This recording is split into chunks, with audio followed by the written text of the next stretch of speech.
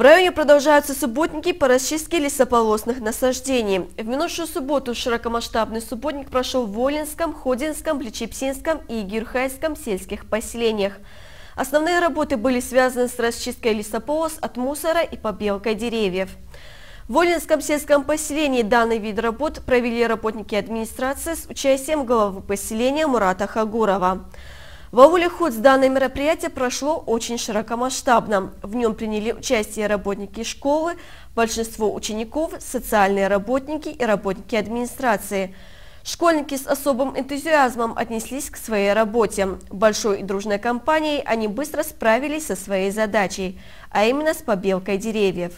В поселке Майский данный вид работ практически уже завершен. Деревья побелены, аллеи очищены от мусора.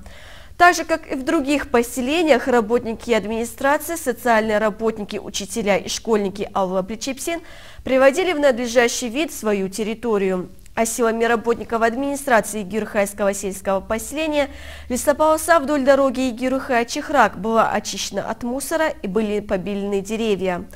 Глава поселения Руслан Бравтов обратился к жителям с убедительной просьбой своими силами покрасить столбы и деревья, находящиеся у них на придомовых территориях.